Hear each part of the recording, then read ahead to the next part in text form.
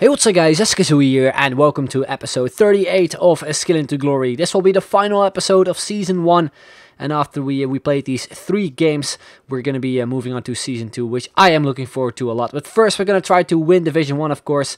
The first game we come up against is actually a uh, Premier League team in the 4-2-3-1 formation, a pretty strong one as well. He starts off with Payet, a good save from a goalkeeper and a rebound. He managed to save it again. Then uh, we're in the 11th minute. We got our first chance of the game, of course, with some skill moves. We got Cuadrado on the right hand side. We got him with the spin. and maybe should have gone uh, with the uh, Bolasie flick instead. But we managed to pick it up with Lichtsteiner. We go with the outside foot cross. I was trying to reach for Perea. Unfortunately, his defender got in our way. Then 27 minutes, we gave away a free kick.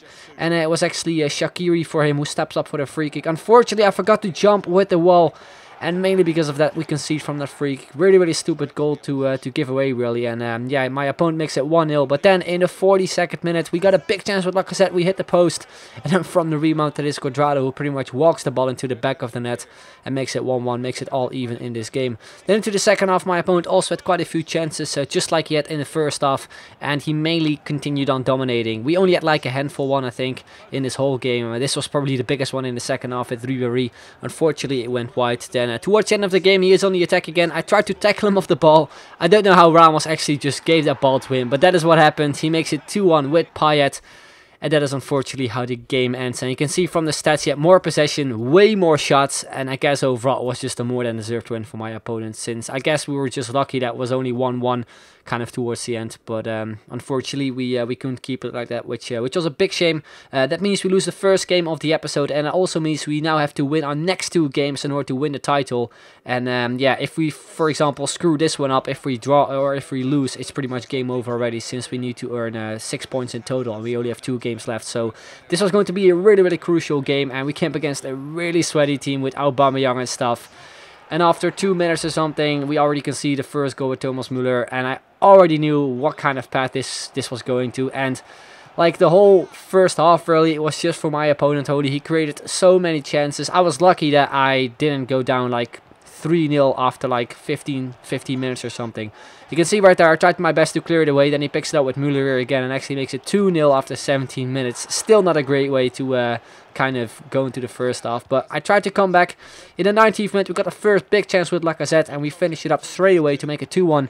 And then um, give us some sort of a comeback. And from that minute, we did create a few chances, not many. Uh, this was, I guess, uh, one of the biggest ones here with uh, Ribery. Uh, plays it on through there to Lacazette on the left-hand side. We beat the defender nicely. Then I tried to go for a chip shot, which I probably shouldn't have done because chip shot this year aren't really as effective as they actually were in FIFA 15, which I definitely noticed uh, this year. And uh, instead, 41st minute, he got himself a big chance as well. Unfortunately for him anyway, that one went wide. And that is how the first half ended. You can see it right there from the stats. He, uh, he had a couple more shots. And um, when we went into the second half, I decided to make one chase, and that is actually uh, bring uh, Carlos Tevez on for Fekir, because I feel Tevez is actually like a really, really solid player this year. Probably one of the best ones, and I've actually been using him a lot on my uh, normal accounts. And um, yeah, there's a reason why I decided to use him. And we, we start off really well in the second half. A big chance with Ribery as well, hitting the crossbar. My opponent got himself a huge chance as well with Aubameyang. I was really surprised that he actually skied that one.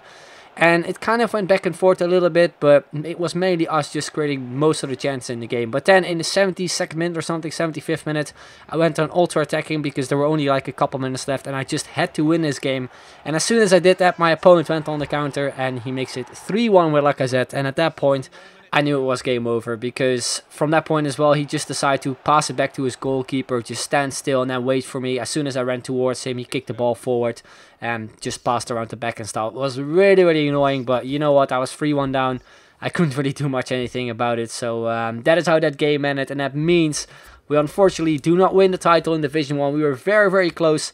Um, I think mainly in the in the previous episode we maybe could have won a couple more games because I think we draw like two or maybe one unnecessary one which uh, which is really really stupid. If we maybe won that one we probably could have won the title because technically we still had one game left but the amount of points we actually could have had if we played that game as well was I think 20 so it's not enough to win the title unfortunately but anyway guys that is where we are going to be ending off season 1 of Skilling to Glory we did not win the, the division title only decided to give it one go just because I've done other divisions I think two times I think division 3 was the one we did like three times over or something. It was absolutely ridiculous. I myself, I'm not really a big fan of divisions, so I'm glad this is over.